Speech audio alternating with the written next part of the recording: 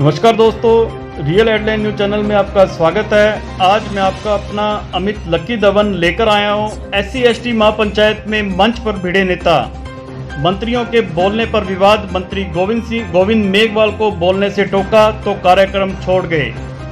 S C महापंचायत के मंत्रियों के बोलने को लेकर विवाद हो गया। विवाद की शुरुआत आपदा राहत मंत्री गोविंद मेघवाल के भाषण से हुई। मेघवाल ने जैसे ही भाषण शुरू किया तो आयोजकों ने उन्हें दो मिनट में भाषण खत्म करने को कहा। बीच में टोकने पर मंत्री मेघवाल नाराज़ हो गए और कहा कि आप भाषण खत्म को समझिए, अब जब जब बात ही पूरी नहीं रख सकते तो फिर मतलब ही क्या है? मेघवाल नाराज़ होकर मंच से नीचे उतरे और कार्यक्रम छोड़कर चले गए। इस दौरान नारेबाजी हो गई। मेघवाल ने के महापंचायत छोड़ने के बाद मंत्री ममता भूपेश, भजनलाल जाटव, टीकाराम जूली भी कार्यक्रम से चले गए। मंत्रियों के मंच छोड़ते ही वहाँ कार्यकर्ता की भीड़ लग गई और कार्यकर्ता आपस में भिड़ गए। एस सी समुदाय के 22 पेंडिंग मांगों को लेकर जयपुर के मानसरोवर ग्राउंड में रविवार को महापंचायत हुई। नेता बोले, दलित आदिवासियों को केवल वोट बैंक समझना बंद करें। विधानसभा चुनावों से पहले एस सी ने पेंडिंग मांगों को लेकर केंद्र राज्य सरकार के खिलाफ मोर्चा खोल दिया है। महापंचायत में एस सी समुदाय के मंत्री और विधायक भी बड़ी संख्या में जुटे हैं। महापंचायत में दलित आदिवासी समुदाय के नेताओं ने केंद्र और राज्य सरकार के स्तर पर लंबित पड़ी मांगों का समाधान करने के लिए नाराज़गी ज़ाहिर की है।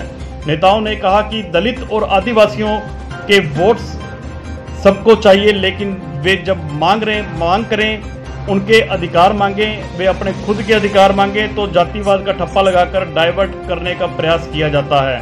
दोनों वर्गों की सबसे ज़्यादा आबादी है, इसके बावजूद मांगों पर ध्यान नहीं दिया जाना सरकारों की मानसिकता को दर्शाता है। सरकारें दोनों समुदायों को केवल वोट बैंक समझना बंद करें, हक की बात आए तो वह भी उसी तरह से दे, जिस तरह से सरकार वोट देती है। सरकार ने वादा करके भी मुकदमे वापस नहीं लिए। महापंचायत में के सचिव जीएल वर्मा ने कहा कि सरकार, राजस्थान सरकार के स्तर पर 22 और केंद्र सरकार के पास 14 डिमांड पेंडिंग है। इनका जल्द समाधान किया जाए। 2 अप्रैल 2018 को भारत बंद के दौरान प्रदेश में एस टी के लोगों पर 322 एफआईआर हुई थी।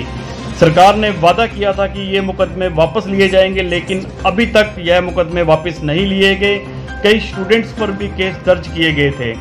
एस टी एस टी के कुलपति लगाने की मांग। महापंचायत के डिमांड चार्टर के मुताबिक राजस्थान सरकार के विश्वविद्यालयों में कुलपतियों की नियुक्तियों में एस सी को आबादी के अनुपात में प्रतिनिधित्व देने देते हुए करीब नौ कुलपति नियुक्त करने की मांग की है। सरकार ने एस सी वर्ग के कुलपति पद पर तत्काल नियुक्तियाँ देने की मांग की है।